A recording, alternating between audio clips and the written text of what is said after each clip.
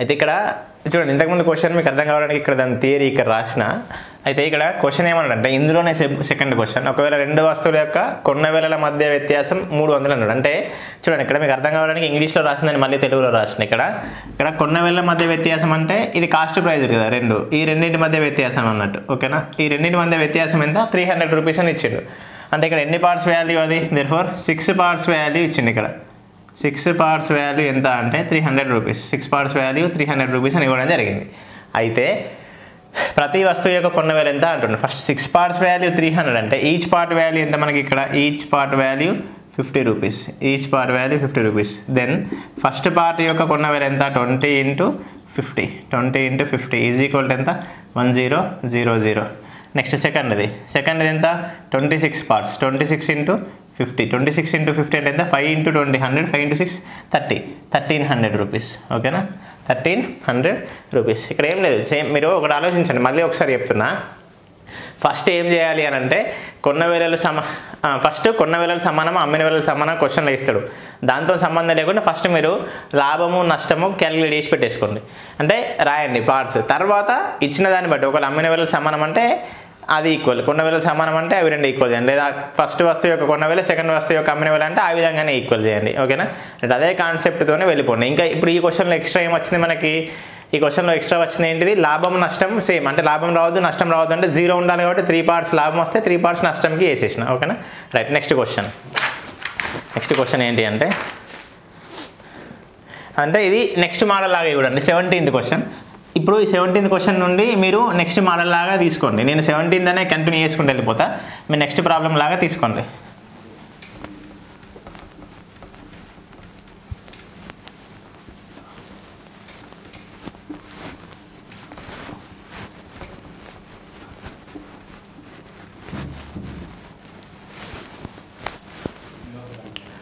ఒక వస్తువు ఏడు వందల రూపాయలకి అమ్మడం వలన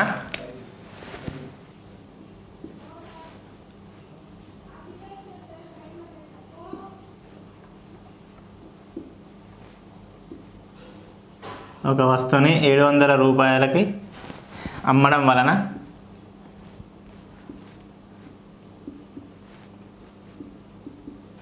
ఒక వస్తువుని ఏడు వందల ఇరవై రూపాయలకి అమ్మడం వలన ఇరవై శాతం నష్టం వచ్చింది. ఇరవై శాతం నష్టం వచ్చింది. ఓకేనా? ఇరవై శాతం నష్టం వచ్చింది. అయితే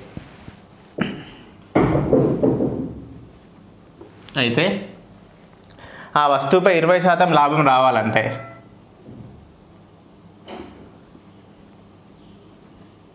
ఆ వస్తువుపై ఇరవై శాతం లాభం రావాలంటే? ఇరవై శాతం లాభం రావాలంటే ఎంతకి అమ్మాలి?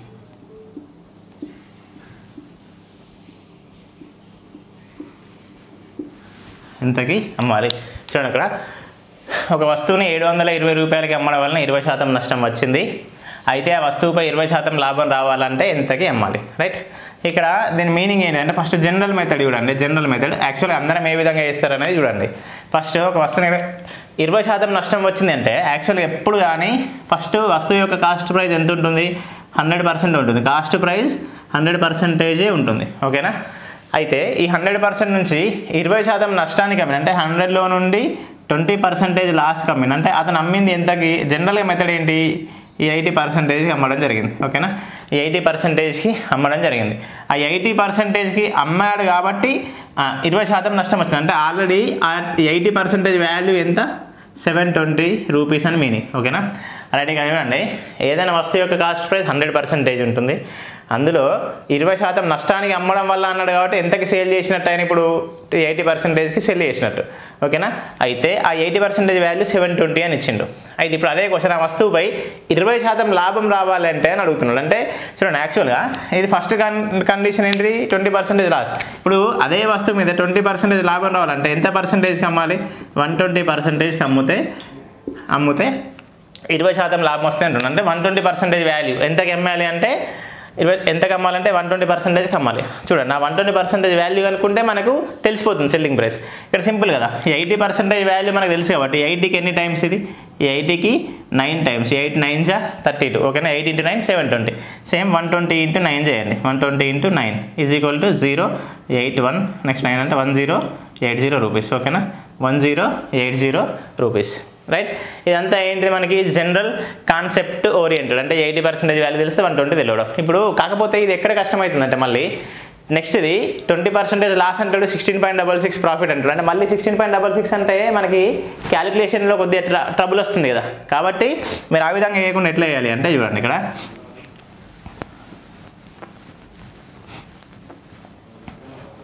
రైట్ ఇప్పుడు నెక్స్ట్ మోడల్ ఏంటి అంటే దీనికి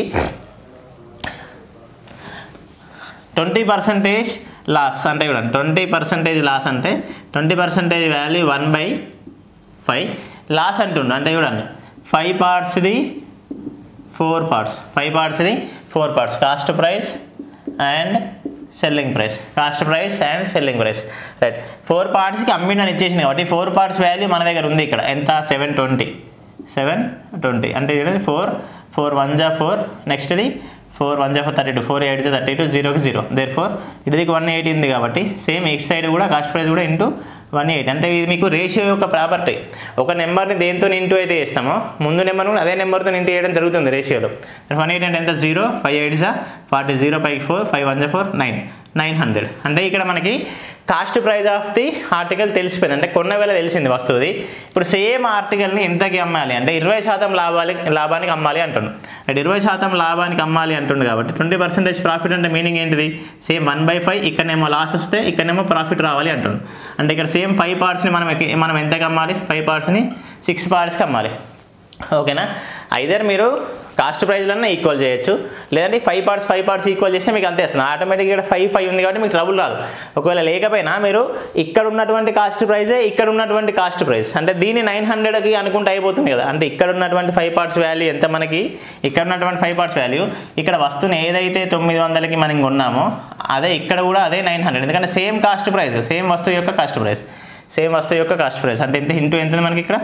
వన్ ఎయిటీ హెన్స్ ఇక్కడ కూడా సిక్స్ ఇంటూ వన్ ఎయిటీ అండి సిక్స్ ఇంటూ వన్ ఎయిట్ అంటే zero forty eight eight four six plus four ten ఓకేనా one zero eight zero rupees one zero eight zero rupees ఓకేనా ఇది మీకు క్లియర్ అయింది అనుకుంటున్నా. చూడండి ఏం లేదు ఇక్కడ. ఫస్ట్ లాస్ ఫైవ్ ఫోర్కి వస్తుంది. సేమ్ అదే మా అదే ఆర్టికల్ని లాభానికి అమ్మాలి. ట్వంటీ పర్సెంట్ అంటే ఫైవ్ సిక్స్కి అమ్మాలి. రైట్ ఇక్కడ కాస్ట్ ప్రైస్ నైన్ హండ్రెడ్ వచ్చింది కాబట్టి cost price of the article same ఉంటుంది ఎప్పుడు కానీ. Cost price of the article మనకి సేమ్ ఉండడం జరుగుతుంది. ఓకేనా రైట్ ఇది చూడండి అంతే. ఇది నైన్ హండ్రెడ్కి మళ్ళీ ఈక్వల్ చేసి సాల్వ్ చేయడం జరిగింది. నెక్స్ట్ క్వశ్చన్ రాస్తే చూడండి. ఎయిటీన్త్ క్వశ్చన్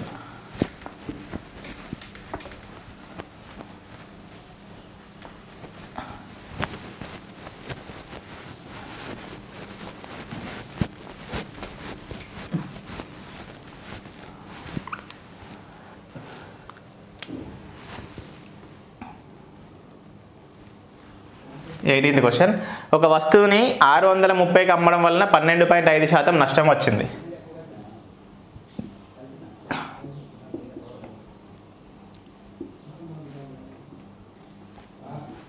ఆరు వందల ముప్పైకి అమ్మడం వలన ఆరు వందల ముప్పైకి అమ్మడం వలన పన్నెండు పాయింట్ ఐదు శాతం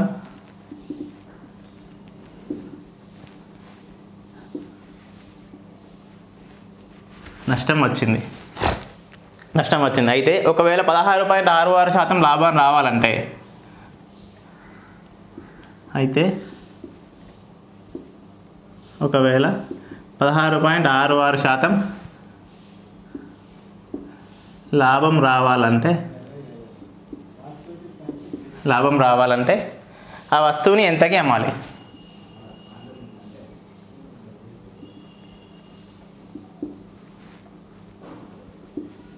వస్తువుని ఎంతకి అమ్మాలి? రైట్ ఇక్కడ చూడండి. సేమ్ ఇప్పుడు మనం చెప్పిన సెకండ్ మోడల్ ట్రై చేద్దాం. ఎందుకు అంటే దీన్ని మనం procedure wise as per percentage wise పోతే twelve point five percentage loss అన్నాడు అనుకోండి. అంటే ఎంతకు అమ్ముతున్నట్టు? ఎయిటీ సెవెన్ పాయింట్ ఫైవ్ పర్సెంటేజ్కి అమ్మితే సిక్స్ థర్టీ అదే ఇప్పుడు మనకి one one sixteen point double సిక్స్కి అమ్మాలి అంటే చూడండి మనకి క్యాలిక్యులేషన్ బాగా కష్టమవుతుంది ఎయిటీ సెవెన్ పాయింట్ ఫైవ్ని అంటే చూడండి చేస్తే ఎక్కడ టబుల్ ఏర్పడుతుంది చూడండి. First eighty seven point five zero. లాస్ట్కి అమ్మితే ఎంత ఎంత అమ్మినట్టు అక్కడ? సిక్స్ థర్టీ ఇప్పుడు లాభానికి అమ్మితే ఎంత? One one six point double six percentage యొక్క వాల్యూ కనుక్కోవాల్సి ఉంటుంది ఓకేనా? రైట్ కానీ ఇది ఇది చేయడం కొద్దిగా మనకి క్యాలిక్యులేషన్లో ట్రబుల్ అవుతుంది కదా. కాబట్టి దీన్ని ఇలా కాకుండా ఇప్పుడు మనం నేర్చుకున్న సెకండ్ మెథడ్లోనే ఇద్దాం చూడండి. సెకండ్ మెథడ్ సెకండ్ మెథడ్ ఏంటి అంటే పన్నెండు పాయింట్ ఐదు శాతం.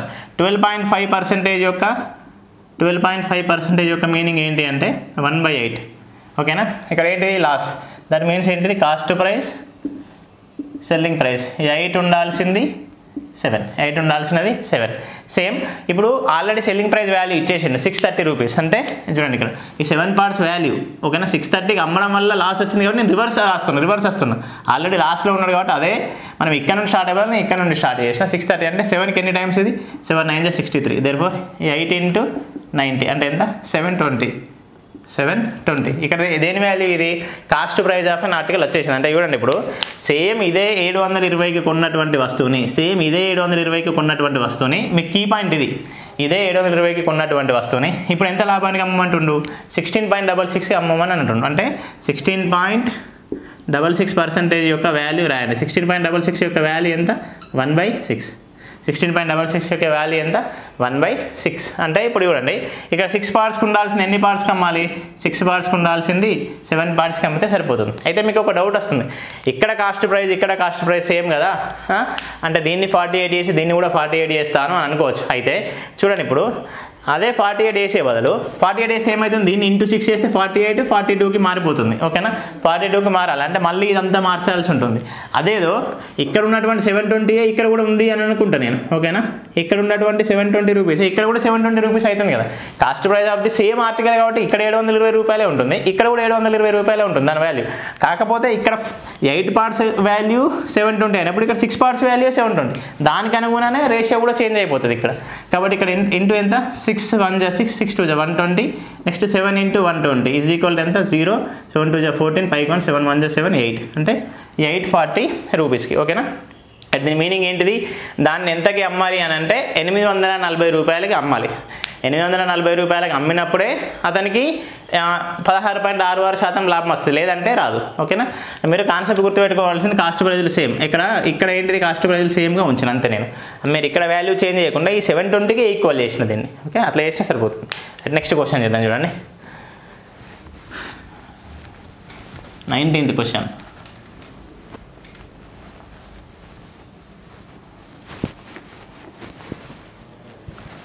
నైన్టీన్త్ క్వశ్చన్ ఒక వస్తువుని ఇక ఇది సేమ్ ఇక్కడ కొద్దిగా మారుతుంది మళ్ళీ. కొద్దిగా స్లైట్గా చేంజ్ అవుతుంది మోడల్. ఒక వస్తువుని అంటే సేమ్ అదే అదే క్వశ్చన్. ఇప్పుడు నాకు తెలిసి ఇది ఎయిటీన్త్ క్వశ్చన్ అనుకుంటా. ఎయిటీన్త్ క్వశ్చన్ ఎయిటీన్త్ క్వశ్చన్ ఒక వస్తువుని నాలుగు వందల యాభైకి అమ్మడం వలన ప పన్నెండు పాయింట్ ఐదు శాతం లాభం వచ్చింది.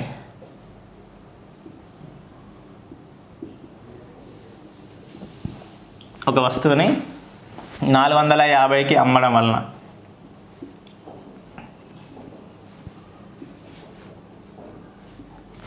ఒక వస్తువుని నాలుగు వందల యాభైకి అమ్మడం వలన పన్నెండు పాయింట్ ఐదు శాతం లాభం వచ్చింది.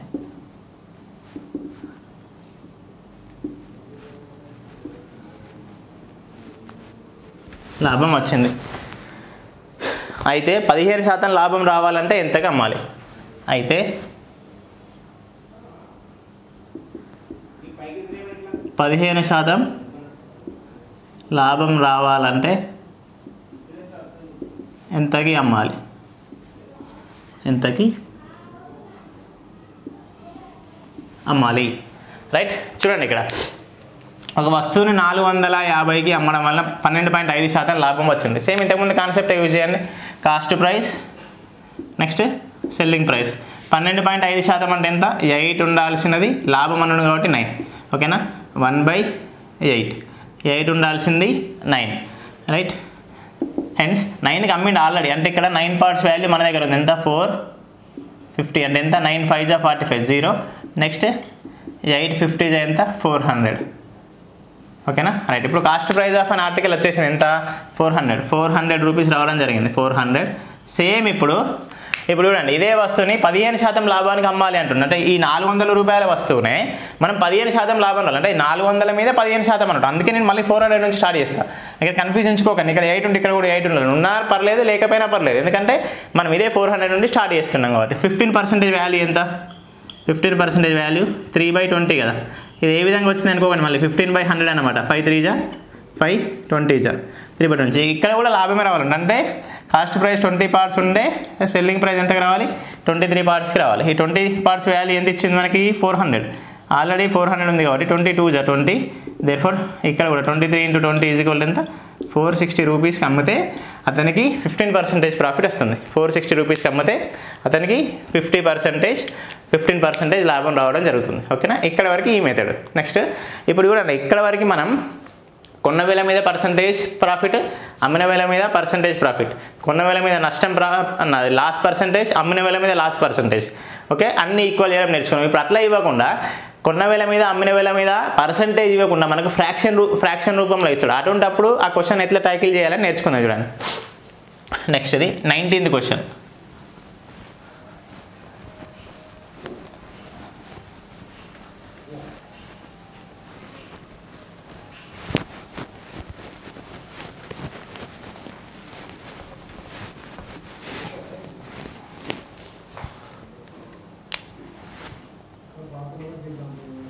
నైన్టీన్త్ క్వశ్చన్ లాభం కొన్న ధరలో మూడు బై ఐదవ వంతు అయిన లాభ శాతం ఎంత?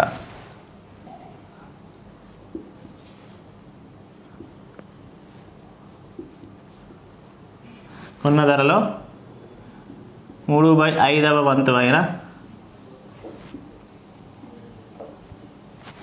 ఐదవ వంతు అయినా లాభ శాతం ఎంత? లాభ శాతం ఎంత? ఇప్పుడు చూడండి.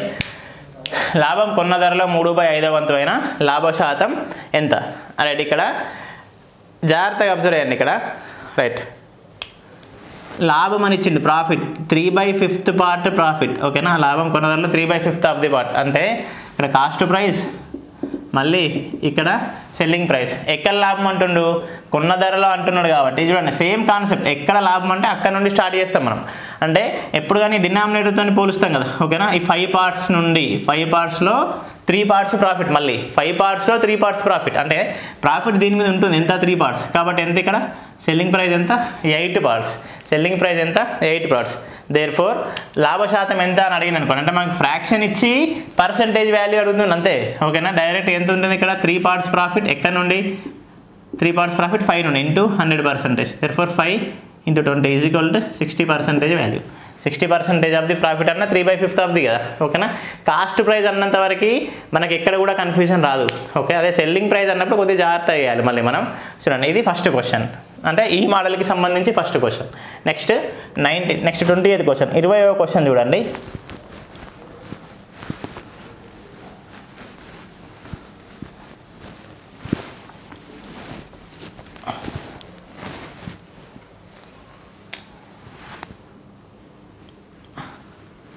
ఇరవై క్వశ్చన్ చూడండి.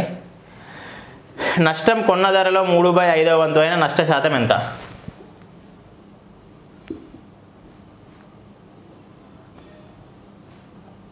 నష్టం నష్టం కొన్న ధరలో మూడు బై ఐదవ వంతు అయిన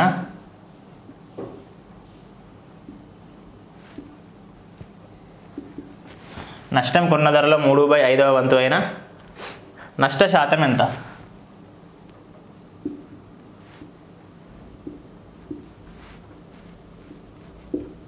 నష్ట శాతం ఎంత? నష్టం కొన్న ధరలో మూడు బై ఐదు అంతమైన నష్ట శాతం ఎంత? చూడండి ఇక్కడ. రైట్ ఇక్కడ మళ్ళీ సేమ్ కాకపోతే ఇక్కడ లాస్ట్ పర్సంటేజ్ ఇచ్చిండు. ఇచ్చినప్పటికీ కూడా ఎంద ఎందులో అంటుండు లాస్ కూడా? కొన్న ధరలోనే అంటుండు. కొన్న ధరలో మూడు వేలు ఉంటుంది ఇక్కడ మీరు స్టార్ట్ చేయాల్సింది కూడా ఎక్కడ నుండి. కాస్ట్ ప్రైస్ మరియు సెల్లింగ్ ప్రైస్ ఉంటే కంపారిజన్ విత్ కాస్ట్ ప్రైస్ అంటుండే కాబట్టి మీరు కాస్ట్ ప్రైస్ నుంచే స్టార్ట్ చేయండి. డినామినేటర్లో హండ్రెడ్ పర్సెంట్కి ఈక్వల్ కాబట్టి కాస్ట్ ప్రైస్ వాల్యూ ఎంత? ఫైవ్ ఈ ఫైవ్ పార్ట్స్లో త్రీ పార్ట్స్ లాస్లో ఉన్నది అంటుండు. ఓకేనా? రె మూడు బై ఐదు వంతు అంటే త్రీ పార్ట్స్ లాస్ అంటే ఎంత ఇక్కడ? లాస్ రావాలి. ఇక్కడ నుండి త్రీ పార్ట్స్ అంటే ఎన్ని పార్ట్స్ కమ్మినట్టు మనకి ఇక్కడ? టూ పార్ట్స్కి అమ్మినట్టు ఓకేనా? అంటే ఆల్రెడీ మూడు బై ఐదు వంతు లాస్ వచ్చింది. అంటే మీనింగ్ ఏంటో మళ్ళీ? Three by five into hundred. అంటే ఇక్కడ మీనింగ్ ఎంత? Same sixty percentage loss. Sixty percentage లాస్కి అమ్మడం జరిగింది. కొన్నవేళ కాబట్టి నేను డైరెక్ట్ కొన్నవేళ నుంచి స్టార్ట్ చేస్తున్నా. మీకు ఇక్కడ ఏం ప్రాబ్లం రాదు. రైట్? నెక్స్ట్ ఒకవేళ ఇందులోనే కొద్దిగా చేంజ్ చేసి అమ్మిన వెల మీద అని అన్నాడు అనుకోండి అప్పుడు ఏ విధంగా వేయాలి యుద్ధం చూడండి. రైట్? Twenty first question.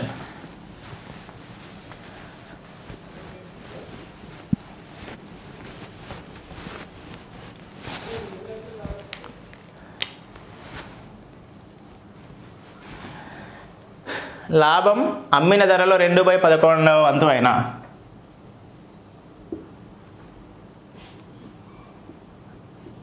లాభం. లాభం అమ్మిన ధరలో రెండు బై పదకొండవ వంతువైన?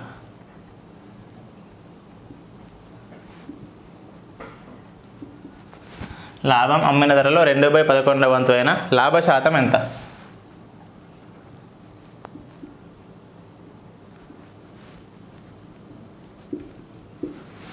లాభ శాతం ఎంత?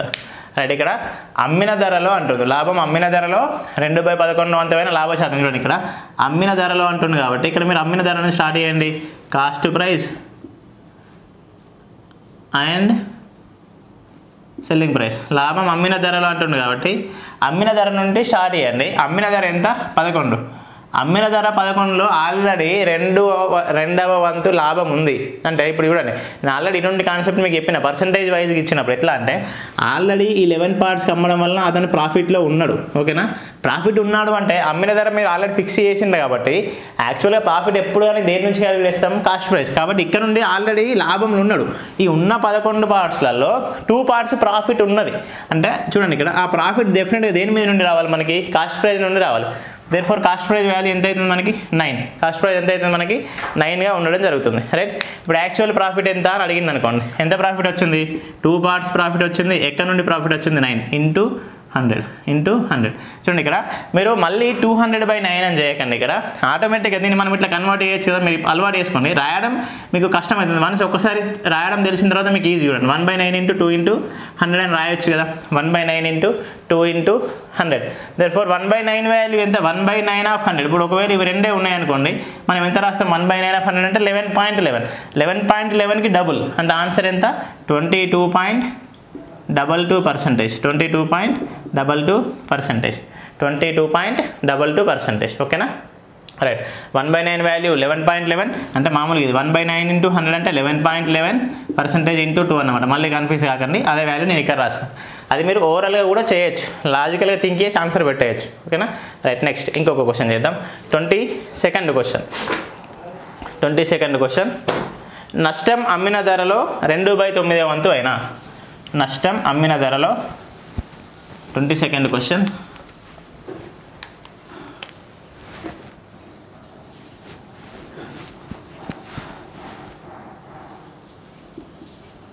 నష్టం అమ్మిన ధరలో రెండు బై తొమ్మిదవ వంతు అయినా నష్టం అమ్మిన ధర రెండు తొమ్మిది వంతు అయినా నష్ట శాతం ఎంత?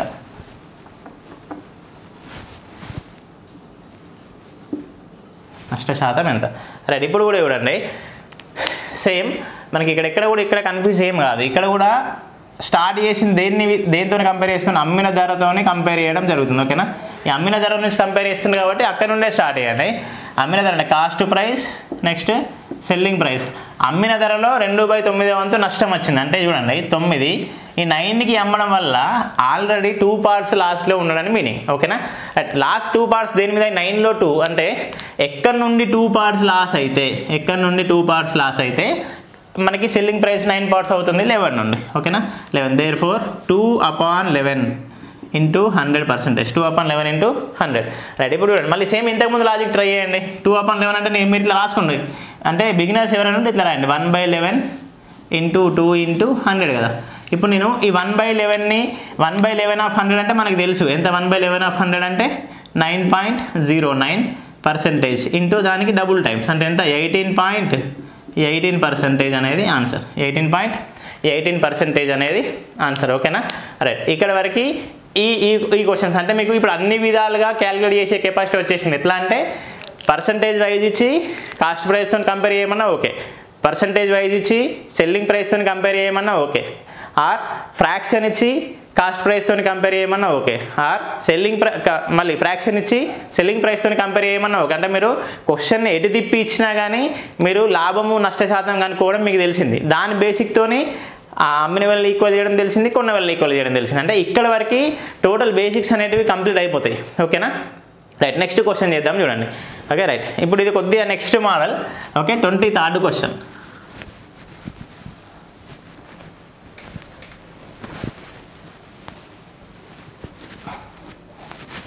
twenty third question ఒక వస్తువుని ఏ అనే వ్యక్తి బి అనే వ్యక్తికి ఇరవై శాతం లాభంతో అమ్మాడు. ట్వంటీ థర్డ్ క్వశ్చన్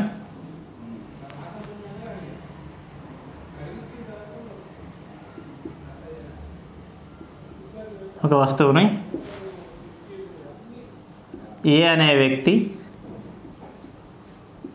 బికి ఇరవై శాతం లాభంతో అమ్మాడు.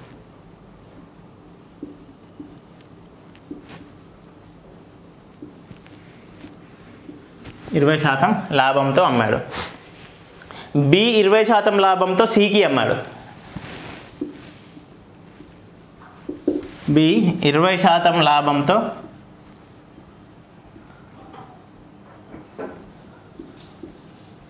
సికి అమ్మాడు.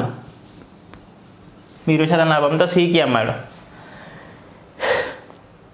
ఇరవై శాతం లాభంతో సికి అమ్మాడు. సి ఇరవై శాతం నష్టంతో డికి అమ్మాడు. సి ఇరవై శాతం నష్టంతో డికి అమ్మాడు. డికి అమ్మాడు. సి ఇరవై శాతం నష్టంతో డికి అమ్మాడు. డి యొక్క కొన్న వేల ఒక వెయ్యి ఎనభై అయితే. Or D. ఆ వస్తువుని కొన్న వేళ డి. ఆ వస్తువుని కొన్న వేళ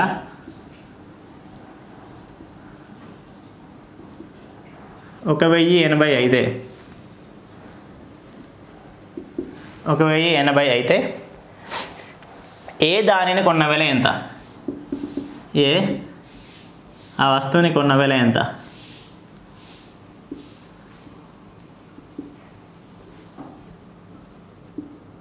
ఏ? ఆ వస్తువుని కొన్న ఎంత చూడండి ఇక్కడ?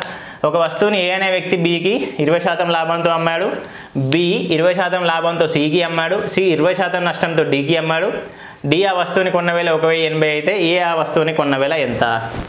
రైట్? ఇది టూ టైప్స్ చేయొచ్చు. నేను ఫస్ట్ ఒక మెథడ్ చెప్పి దాని తర్వాత ఇంకొక మెథడ్ చెప్తాను చూడండి. రైట్.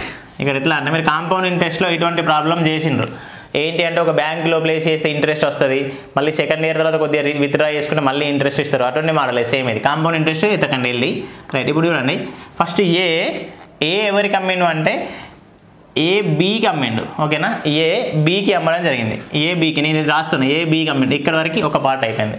నెక్స్ట్ సేమ్ అదే వస్తువుని బి సికి అమ్మడం జరిగింది. సికి అమ్మాడు. ఇక్కడ ఒక పార్ట్ నెక్స్ట్ అదే వస్తువుని సి డికి అమ్మిండు. ఓకేనా డీకి అమ్మండి ఇక్కడ మనం ఎక్కడ కూడా ఆ వస్తువు మీద ఖర్చు అనేది పెట్టలేదు. ఓకేనా? ఎక్కడ కూడా ఆ వస్తువు మీద ఖర్చు అనేది మనం పెట్టడం లేదు. రైట్ అది ఎట్లా చేయాలంటే ఏ బీకి ఎంత లాభంతో నమ్మిండు? ట్వంటీ పర్సెంటేజ్ ప్రాఫిట్తో నమ్మడం జరిగింది. ట్వంటీ పర్సెంటేజ్ ప్రాఫిట్ అంటే ఎంత మీనింగ్ ఇక్కడ? ఇక్కడ one by five profit. A నుంచి బీకి వచ్చేవరకు బీ కొనుక్కొని ఏ కొనుక్కొని బీకి అమ్మిండు. ఓకేనా ఎంత? ఫైవ్ పార్ట్స్కి కొంటే సిక్స్ పార్ట్స్కి అమ్మడం జరిగింది. ఫైవ్ పార్ట్స్కి కొంటే సిక్స్ పార్ట్స్కి అమ్మడం జరిగింది. సేమ్ ఇదే వస్తువుని. ఇక్కడ బి ఎంత లాభానికి అమ్మిండు? బీసీకి ఎంత లాభానికి అమ్మిండు? ఇరవై శాతం లాభానికి అమ్మిండు. మళ్ళీ బీసీకి ట్వంటీ పర్సెంటేజ్ మళ్ళీ profit one by fifth profit అంటే ఫైవ్ సిక్స్కి అమ్మడం జరిగింది. ఫైవ్ సిక్స్కి అమ్మడం జరిగింది. ఇప్పుడు సి ఏం చేసిండు? డీకి ఇరవై శాతం నష్టంతో నమ్మిండు ఇరవై శాతం నష్టం అంటే ఎంత? వన్ బై ఫిఫ్త్ లాస్ అంటే ఫైవ్ పార్ట్స్ ఉండాల్సింది ఫోర్ పార్ట్స్కి అమ్మడం జరిగింది. ఫైవ్ పార్ట్స్ ఉండాల్సింది ఫోర్ పార్ట్స్కి అమ్మడం జరిగింది. రైట్ ఇప్పుడు అదే క్యాలిక్యులేట్ చేస్తే చూడండి ఫైనల్గా వాల్యూ ఇచ్చిండు. ఫైనల్ వాల్యూ ఎంత అంటే ఆ ఫోర్ పార్ట్స్ వాల్యూ డీకి ఉన్నది ఎంత అంటే ఒక వెయ్యి ఎనభై. అంటే ఎక్కడ కొంటాడు? సి డీకి అమ్ముతేనే కదా ఆయన పరిచయం చేసేది. ఆ డీ వాల్యూ ఇచ్చిండు. ఎంత ఇచ్చిండంటే ఒక వెయ్యి ఎనభై రూపాయలని ఇవ్వడం జరిగింది. అంటే ఫోర్ పార్ట్స్ వాల్యూ మనకు వచ్చింది. ఫోర్ పార్ట్స్ వాల్యూ వచ్చిందంటే చూడండి కదా క్యాలిక్యులేట్ చేయండి. ఫోర్ పార్ట్స్ వాల్యూ ఎంత? ఫోర్ ఇంటూ ఫోర్ టూ జా ఎయిట్ ఫోర్ సెవెన్ జా ట్వంటీ ఎయిట్ జీరోకి జీరో అంటే one part value two seventy hence five into two seventy five into two seventy zero five seven thirty five three ten thirteen thirteen fifty right ఇక్కడ చూడండి. C thirteen ఫిఫ్టీకి C దగ్గరికి వస్తే అదే thirteen ఫిఫ్టీతోని డీకి అమ్మడం జరిగింది. సేమ్ ఇక్కడ చూడండి. సి కాస్ట్ ప్రైస్ ఇక్కడ థర్టీ ఫైవ్ అండి. ఇక్కడ కూడా సేమ్ థర్టీన్ ఫిఫ్టీయే కదా. రైట్ అంటే ఇక్కడికి రండి. మళ్ళీ సేమ్ ఇక్కడ ఉన్నటువంటి సిక్స్ పార్ట్స్ వాల్యూ ఎంత? Thirteen fifty. అంటే చూడండి ఇక్కడ మనం దీనిని చేంజ్ చేసే బదులు డైరెక్ట్ నేను దీన్ని థర్టీన్ ఫిఫ్టీకి ఈక్వల్ చేస్తాను. అంటే ఆటోమేటిక్గా అది సేమ్ అన్నమాట. దర్ఫర్ ఇక్కడ స్టార్ట్ చేయండి. సిక్స్ టూ జా ట్వెల్వ్ సిక్స్ టూ జా ట్వెల్వ్ సిక్స్ ఫైవ్ జా థర్టీ ఓకే రైట్ ఇక్కడ therefore five into two twenty five five into two twenty five దీన్ని కూడా సాల్వ్ చేయండి.